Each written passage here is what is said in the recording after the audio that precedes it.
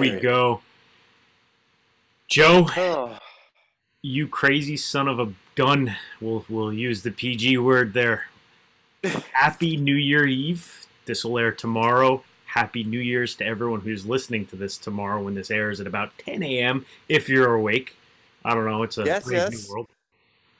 we will all be awake. We're all going fishing in the morning. We are all going fishing in the morning.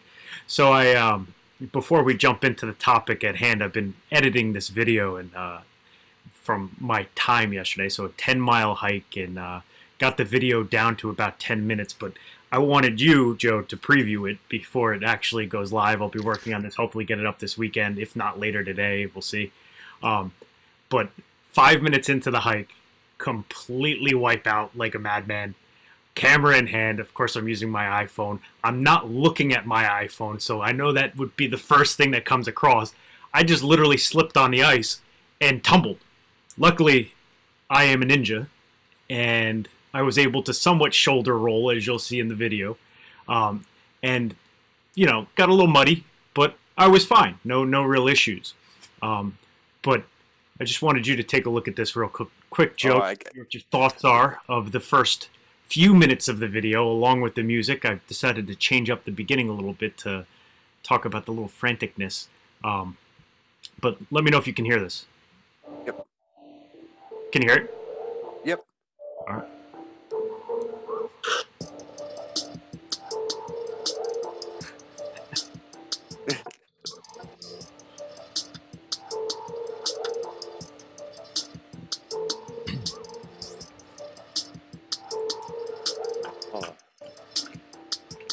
Where?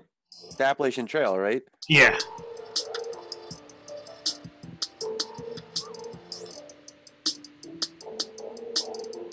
Here we go, walking with the iPhone. Really need that GoPro with the head mount or chest mount.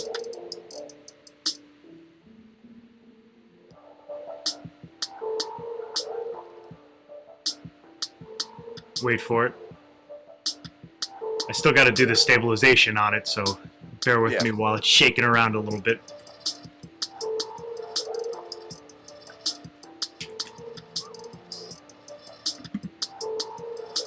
It's coming. As you can see, it's absolutely beautiful. If you look to the right there, there's this creek. Um, native brookies all in there. I saw them rising. And here we go. Uh, this is the scene. This is the scene. Oh, looking at the beautiful brook and.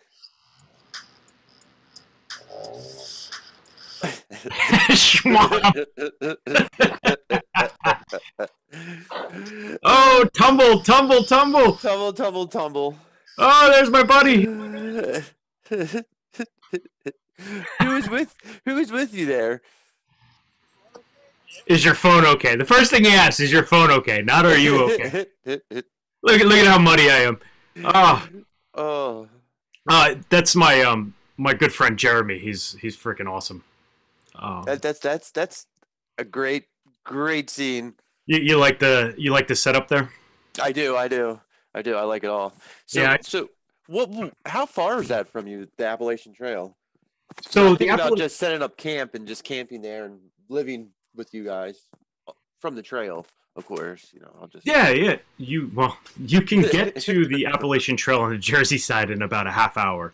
Um, so you know, right at the Delaware Water Gap, actually. So if you've seen my videos on Instagram or um, some of them on YouTube as well, um, some of the fishing trips that I've done on the Delaware River have actually gotten out of the river right there at the gap, so where Route 80 crosses over into Pennsylvania.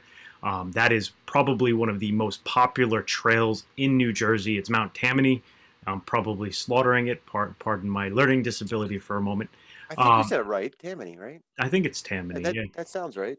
Um, but what like it gets packed. So we decided, you know, let's not do Tammany. Let's you know do the AT section up to Sunfish Pond.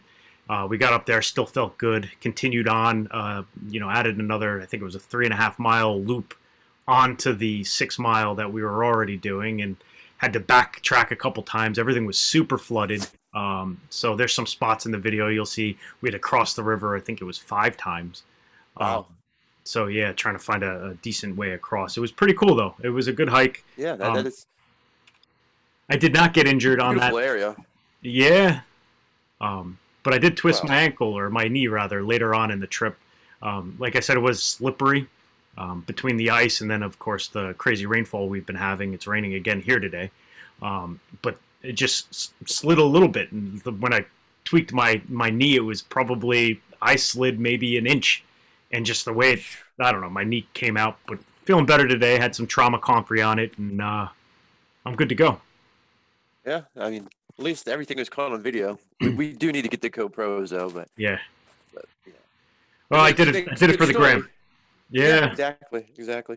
You know, so, and, and, we uh. Go ahead. Should we should we tell them our new uh our new viral craze we started? We'll say that for another day. our new crazy. No, yeah, let's not do that. Yeah, we'll that'll be yet to come. Um, but let's just come. say it was hysterical, and, and we we hope you all would enjoy doing it yourselves. But um, I I wanted to start. So you know, we we do ask if you do listen to this and you come across anything that we talk about on this. You know, shoot us a message if you know us personally. Text us. You can leave a message through our anchor site um, and we can get that voice message. We can either play it or not. You can put that in the message if you're okay with us playing it. Um, but we did get a message from a friend of ours who I will not name. Um, I should say Joe got the message from a friend of ours who was listening to our uh, a few podcasts ago. We were talking about lights in the sky, right? Um, so this individual was saying that because of the podcast, they are constantly looking at the night sky, and lo and behold, what was it yesterday, Joe? Uh, days ago? Yeah, I'm looking at the date right now. It was the day before yesterday. The day before yesterday. But she did send me some more um, screenshots of what she captured. Um, so it was what's today? Today's Thursday. So Thursday. this happened on Tuesday evening.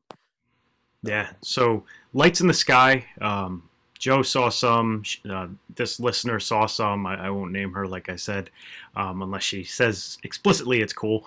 Um, but off of 22, Route 22 here in Jersey, saw five um, flying objects. Now, it's we will call them UFOs because we don't know what they are. But in her video, to me, it did look like they were meteors. I know we are having a meteor shower right now, so um, that is very, very, very possible. Um, yeah, I don't know. You want me to share yeah, that? She uh, you can share those. She sent she sent um five more screenshots. Um, the funny thing is, she sent it to me about I guess half an hour after it happened. Yeah. And my first response was, "Was that around five o'clock?" And she said, "Yes," because around the same time, I saw flashing lights in the sky. Hmm. You know, that was my first response to her. I was like, "Is this was this like right around five? She's like, "Yeah, exactly." Can, can you see um, that? The photo? Yeah, so yeah, she actually, when you zoom in, you can see them. But she said there was actually cars stopping on 22. Yeah. And, and coming out and watching these. But yeah, I see the one there. Yeah, if you if you look if you're looking at this and you're watching this on YouTube, if you look to the left of the image, right above that last tree before you get off the frame, there's a streak running down towards the tree. Now she said there were five of these. Um, it, there's another one too. There's a couple in this picture. If you look at the telephone wires. Oh yeah, I stopped sharing, but I can see that. Um, yeah, super interesting. She said, I, "Go ahead." If you zoom in, she said it's kind of hard to tell. Because she got it from her iPhone. She said if you could zoom in, you could see clearly. There's there's several of these things in the sky.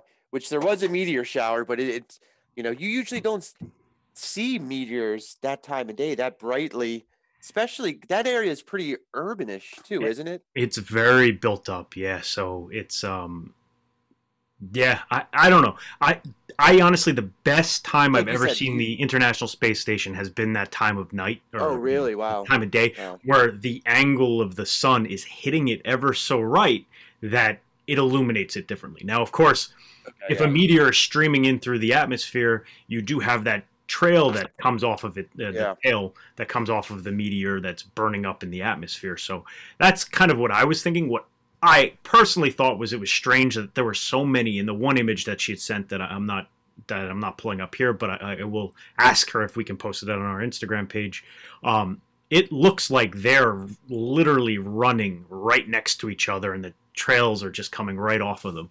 Um, well, yeah, so, that's what she said. She said, um, where's that? In the one video, there's five of the lights over the furniture store, which I think that's the one you're you're speaking of. Um, I'm looking at it now, and I can see them. There's one, two, three, four. So there's the one you point out left of the tree. There's one in the telephone wires, then one almost directly above the telephone wire, and then one back over the building. Nuts. I mean, I would like to see the video. You know, yeah. I, I, I can vouch. I've tried to capture stuff on the iPhone like that. Hard, so hard. It's it's hard. It doesn't come out yeah. as good as what you're seeing. Like footage we got in Myrtle Beach. It, it's crazy footage, but it's still not anything compared to what we were actually seeing. Yeah, you like, need my Sony Alpha with a crazy lens that I do not have um, in yeah. order to capture that. Yeah, uh, or a telescope with an adapter for your iPhone. I see people doing that for photos, which is kind of cool. Um, that is cool. But man, what a cool. Like I said, um, you know, keep sharing stuff if you come across anything. If you're fishing and you catch anything that's cool that you'd like to share with us, let us know. Uh, any outdoor adventures, you know, please let us know. Um, well, the thing that, that that's weird to me about it is, you know, all the astronomical stuff that's going on right now. You know, you had what was it, Jupiter and yeah, the Christmas star basically thing happened yeah. where the two planets merged. And Uranus was really close to the moon. That was a Uranus really close to the moon. I had, I had a pop up on my phone. I showed Donna. Donna goes, yeah. "What is wrong with you?" I'm like, I I don't. It's the the star watching apps are telling me that Uranus is close to the moon, which is cool. Um, and then we got into an argument as to whether or not Pluto was still a planet. Uh, you know, I you know am going to diverge from uh, you know, public opinion, if we will. And I think it's what, what's your what's your opinion? It's it's a planet. Mine too. That's what I think. But oh well, we're we're neither. You there, bud?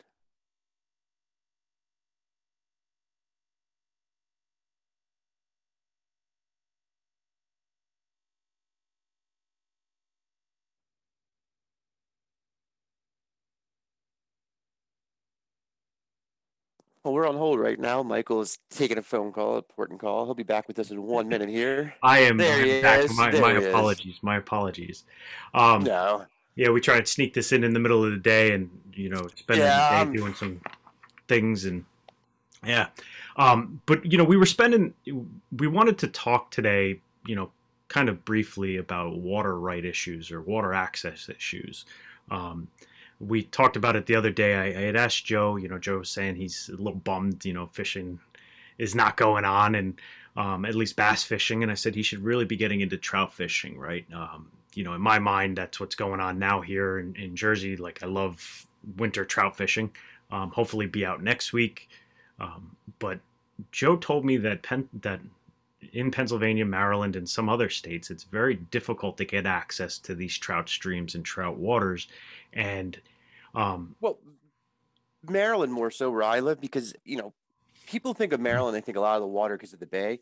Yeah. Maryland's the only state that does not have a natural man-made. I mean, does not have a natural lake. There's there's no natural lakes, so we don't have any real big river systems. We got the Potomac. Yeah. And we had the gunpowder, the little gunpowder, and the Susquehanna, which runs from PA to um, into the bay. But besides that, there, there's not much. And and a lot of these places where where they do stock trout around here are very small areas that are public that are on surrounded by public land where, where you can access so if you do get out there you got to be, be there before first light before anybody else in that yeah. little hole or they're all poached and gone or you got to have access to somebody's farm or the creek will run up and the trout will get up in there. Um, well, that this brings up slim slim pickings. That brings up pickings. a bad problem, right? I mean, we're we both live in incredibly densely populated areas, and I saw this yesterday, right? Like uh, on the AT, right? Just trash everywhere, and I was thinking to myself, like, when I go up to the, we'll call it the brook that I fished for a long time with my brother and my my other cousin. Um, you know, we used to go up there and maybe see a handful of guys over the course of the year. I mean, opening weekend was always busy for trout season, but like after that, it was it was dead. But you go up there now because people are starting to, you know, want to get outside in other ways, shape, or form, or take up activities. I mean, it's packed, and you know, if you don't have a lot of public access like like we do, I mean, I have within probably 15 minutes of my house here, I have dozen rivers and lakes and ponds. Yeah, we don't Yeah. nothing like that here. I mean, I have a reservoir down the street from me. It's literally down the street, but it closes. We, we've discussed this. Yeah. It's only open from mid-April to beginning of October. Do they stock that with trout? No, they do not. That Uh. that's got largemouth, smallmouth. Mm. th- th- we call them the elusive Loch Raven, smallmouth. They're in there. There's not a lot. Um, perch, crappie. They're, Yeah. they're elusive. A lot of big pike Yeah. or pickerel, you know, but no trout. Um, I mean, if you look at a map of where I live, there, there's, you know, you got the bay, and that and that's pretty much it. You know, Well, I so I went on. I, I was interested to see, um, you know, water right access issues here in New Jersey um, as compared to Maryland. So I was I was poking around on Maryland's site, and your DNR site is once again chock's full of good information, like most state websites. Um, but you know, you do they I should say the DNR down there do rainbow trout, golden trout, and brown trout, right? Yep. And it lists a number of waters that are that are stocked, right? And it, it's pretty crazy. I'll just go through a couple of them, right? You have uh, Prince Prince George's, Harford, Cecil. Um, these are all encounters, uh, different counties. counties, yeah, Cecil. Um, so- It looks like pretty much every county within your state is getting trout in some way, shape, or form. It looks like there are a couple lakes that do have them, a number of ponds, um, and then creeks. But it's it goes on for you know a good couple pages telling you that. But then you know there's felt felt soled waders and felt and wading shoes are now banned in the state of Maryland. I, I've heard that a number of different places but there are places to go. What I like about New Jersey's website is right from our trout page, it tells us where there's public access points. So you Right. have to dig for it. Like Oh. you have like a spreadsheet and it'll say public parking here. And you know, I personally typically do not hit those spots because those are the spots that are the most densely populated or shoulder to shoulder, if So- you will. Let me share this with you. This map here. Yeah. Um, share screen. Oh, you got it disabled. Oops. Oh, did I not? Yeah. Yep, there you go. It's because we don't trust you, Joe. So, can you see this map here? Are you seeing this? You need to open it a little bit larger. Oh, larger. Hold on a second. Yeah. Boom. Now you're seeing it. Uh, So I live. there you go. Yeah. I live in this area here. Mhm. Now, this is all the reservoir, and this looks like creeks and stuff that are accessible. It's not. Not very accessible. Now, is it Like- because you'd have to hike through woods to get to it, or is it like fenced off area, private property? You can so this reservoir is the reservoir that's down the street from my house. You could fish here with electric boats only. All around the shore, if I could navionics this, it's super, super, super shallow. This is not a deep reservoir. The deepest spot I think is like 60 feet, and that's like in this area. Hmm. So when you're fishing from the shore, I mean, you're literally fishing zero to four feet, and during the winter, they're not going to. You're not likely to find them there. But if you look around, like if you look at a map in your area, you have creeks and rivers and, and, and lakes and everywhere. So this this shows as a lake here. Yeah. This this this is the apartment lake I always tell you about Oh yeah, yeah. that you're not allowed to fish in. They have it fenced in. You, you in there, they kick you out, and they show this as a creek. this this doesn't exist. there there's there's no creek. There- There's just not a lot of. One popular place they do go is to Gunpowder, which is up in by Monkton. There it is. Right There, this little stretch. Yeah. And this follows around the NCR trail. The problem is a lot of that runs through people's property. Um, I'll stop sharing now. A lot of that runs through um people's property and, and you can't just they're not happy to have people going through their property and and But legally speaking, if you were in the water, is it it's legal? supposed it's supposed to be it's a pretty rural area up there and you know you know I I think that's pretty much anywhere in the country the water's supposed to be not owned. That's the whole thing going on at the Jersey Shore and these people fighting beach access and, all, and all that kind of stuff. But, But it always makes the me, other problem is with that body of water. So there's an NCR trail, which the NCR trail used to be part of the the, um, the Baltimore Pennsylvania rail line that ran Yeah. from Baltimore City up, the, and now it's like a hiking trail. Well, the problem is now during the summer they have these groups come in in springtime, tubing companies, in that river, which I is know. not that big, is literally just packed butthole deep with Yep. just tubers, Yep. and like, you can't do anything. I, I have had that issue. destroyed, Yeah. With litter and and just garbage. And it never used to be like that. Growing up, you would go up there and it was pristine, Yeah. pristine. But now what happens? Air temperatures hit 68, 65. Literally, I'll tell. I'll, I'll, I'll take video this year of it. It will blow your mind to the point where the people at the one trailhead where you know has parking. There's a little town there. Town's been in fights with these tubing companies to ban them because they were just Mm. Jamming the public roads and private roads with cars and just ruining it for everybody. Yeah. And the other problem we have is people who who kind of like creep on the DNR and find out where they're stocking at, and then once they release the trout, they'll go in there and just poach the hell out of them. And you know, my buddy Joe used to say, you know, if you're not fishing the first week of the season, no it, excuse. you know. Yeah. I mean, I can't tell you how many times me and Brennan would go try to go trout fishing. You have to get there so so early, and you would see people already leaving just stringers of trout, and you know, What's, what's the answer though? What, what do you see as being the answer? Because you know, I you see that in every outdoor area, especially the most easily accessible outdoor areas and most popular outdoor areas. and it's like, that's the th- the thing. How do you here. stop it? You you really can't. I mean, Brian told me a story about you know catching people poaching, and we've caught people poaching trout a couple times, and we've called, um, you know, the Right. our DNR or you know our fish and wildlife, and and you can't even get through to anybody. So it's like I'm not going to confront them because you don't know if they have weapons. I mean, I you Exactly. New Jersey's not. I talked about this yesterday with my buddy. I said. New Jersey is a not like we- we can't carry weapons like pretty much at all.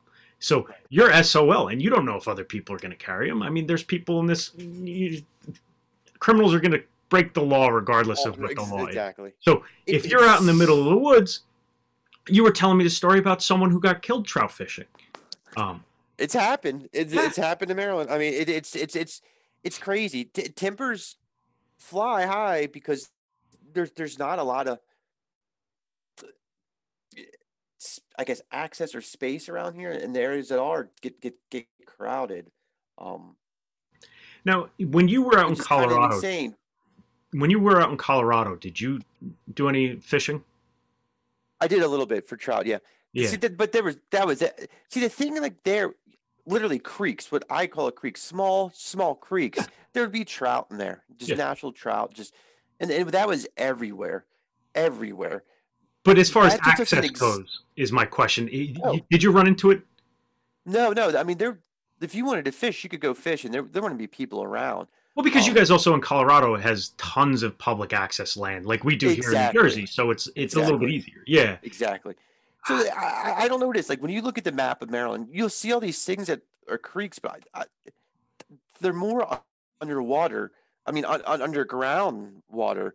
Um, a lot of the f- creeks are real small farm farm-owned creeks. Yeah. Um, Well, here, here's what here's what I there's some recommend. rivers, but is you know never trespass on anyone's property but i, I think you know if you're a big avid outdoorsman I, I think it's important to have conversations with your local representatives right and in government and have the conversations about getting access to right. these outdoor areas now with that comes great responsibility right like you never trash the areas that you're doing it i always i left yesterday from hiking with more crap than i went with because i was picking up garbage the entire time trash. I didn't bring gloves Well, with they- me, and I didn't bring a garbage bag. There were, we found toothpicks, like the actual flossing toothpicks. We found masks everywhere. Um, in part of the video, I show it like you're not supposed to have fires in New Jersey on the Appalachian Trail, and there were like actual still burning fires that I was stomping out, and it was like there was nobody there. It's like respect where you are, and maybe people would allow you to come onto their property. I had a I- I friend. I think that's the big problem or in the areas we are because, Yeah. like you said, they're heavily populated, and people get out there and, and, and treat stuff like crap. You know. Yeah, but you you have this whole mentality, right? Like where I get it. Like we in America, we property rights, right? Like we want property, we want to have things that are ours. But you know, you can ask homeowners. Like I had a friend who used to. There was a private pond on this guy's yard right off this main road here in Jersey on the way to one of the places that I fish. And he stopped one day and was like talking to the guy and was like, "Hey, like can I fish your pond? Like he asked him, like, you know, do you mind if I fish your pond?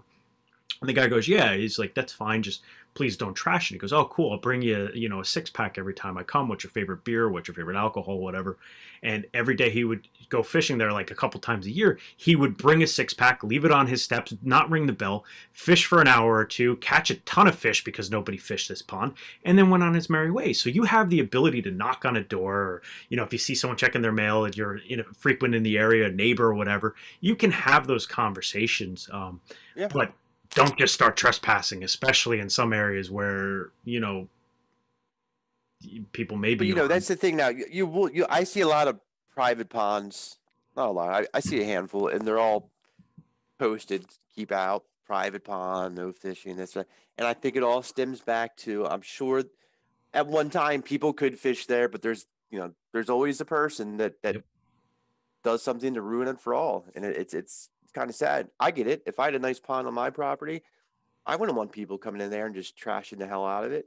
You know, one thing I see all the time is fishing. People just leaving their line in the water and you know, or in the trees. And you know, I understand there might be a circumstance where something happens where right. worst case you have to do that, but a lot of times it's just sheer laziness. Especially if I ever do go shore fishing, when I do from the shore, mm. I'll see people were shore fishing there and they leave their live bait package, eh, all their stuff. It's like their monster cans, their twisted tea yeah. cans that they hit someone with. It's like right. Yeah. yeah. See what I, I mean? It's a it's a shame. Yeah. A shame. So. Well, I th- I think the there are places I'm gonna try and get you out there, and of course I know you're not a fly fisherman, but I'll, I'll tell you what you should be using. I'll find you a nice easy spot that you know hopefully isn't packed.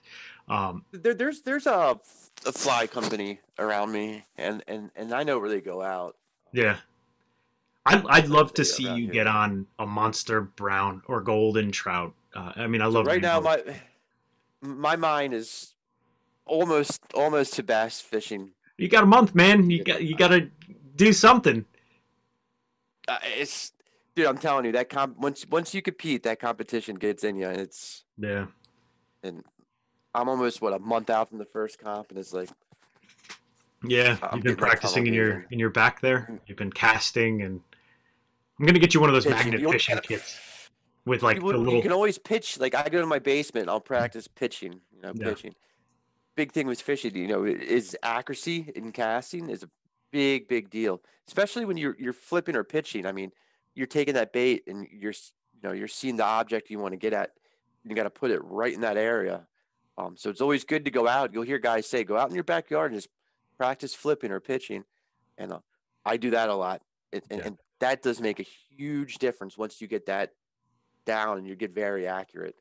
Um, yeah, they say the same for fly fishing. They say put like yeah. a, a, piece of felt or something on the end of your line there and and just cast. I mean, I, I think that's my biggest problem, and it's one of my goals for 2021 is to get more consistent with my casting.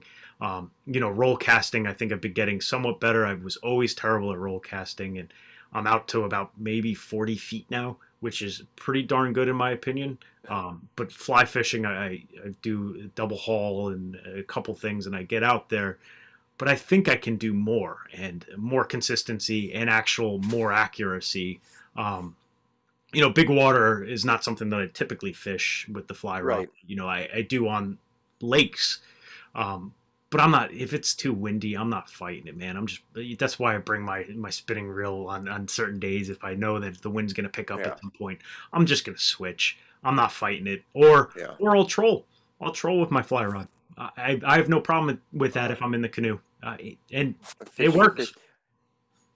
I mean, I can tell you this from practicing pitching and flipping once you start getting more and more accurate, you notice a difference of, as far as numbers fish catch. Yeah. You know, when I can roll up to a dock and I can pick it apart just accurately where I want to pitch it definitely makes a huge, huge it's a game changer. Yeah. Game changer. Well, It- I'm it really is. I'm a that professional. goes to skipping too. You know, these guys pitch skip. The guys will like they'll be flipping or pitching, and they can still skip it. So you know you're doing like this motion, and they're Yeah. skipping it. That's the one you got to conquer because one of the guys I fish with, he could pitch skip that thing into an area like this, and just like, and it, man, the fish catches you get off of that is insane, insane. I don't know. I'm a professional skipper, as we talked about a few, Ah, few episodes He's the ago. only guy who could skip a bait like 400 yards. It's just out of sheer muscle, just like kaboom! yeah. like he just wills the bait and it, it skips. I've never seen anything like it. That's one of the first things we got to shoot with the GoPro this summer. Is Oh, totally. We're gonna have to set it up on the on the dock, and we're gonna. it is like 10 ungodly how this guy can skip. well, maybe that's our breakout moment, right? Is uh, that that'll be the viral be. video? so, Yeah. oh boy, well, uh, you know, I think that wraps it up, Joe. I, I do think that you need to get out there before maybe at least I'm when you get your. GoPro, try trout fishing, please. And uh, I'm going to. I, I used to go out with my buddy Joe years ago, back when Riley Hmm. was little. We would go up to the gunpowder and, and trout fish with just light fishing tackle. yeah, just do it, man. but- at, at least once. And uh, I'd love to see some video. I know that the people out there would love to as well. And um, we'll see. All right, buddy. Well, happy New Year's, everybody. Happy New Year's. We'll catch up. We'll catch up soon. Talk be to everyone next for. Michael's Michael's video and be on the lookout for uh the viral the viral thing restarted. So viral moment. Yeah. Viral we'll- moment. Maybe we'll talk about that next week. And uh, next week, we're trying to get a, a buddy of mine to come on to talk about rock climbing. Um, so you know, avid rock climber and, and a big snowboarder now as well. So maybe we'll we'll jump into a little bit with Good that. Uh, he just got back from New Hampshire on a whirlwind snowboarding tour up there. Um, Oh man. so we'll get a little a little feedback on New Hampshire's snow conditions. Um, everyone, Good. thank you. Have a good weekend. Happy New Year, Joe. Happy New Year's. Later, brother. Take it easy, buddy. Later, brother.